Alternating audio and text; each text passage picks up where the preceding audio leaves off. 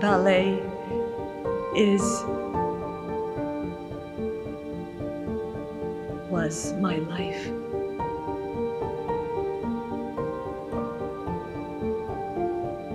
How am I supposed to accept this?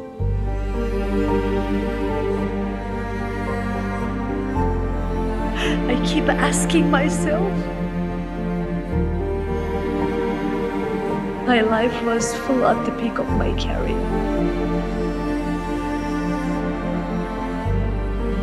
And just like that,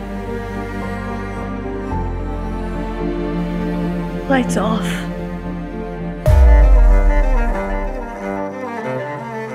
Now what? Can you answer me? I supposed to do? I have nothing. I feel nothing. I don't know why I'm still here.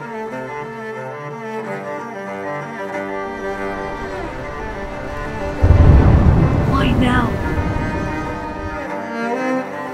What would you do if your dream was suddenly taken away?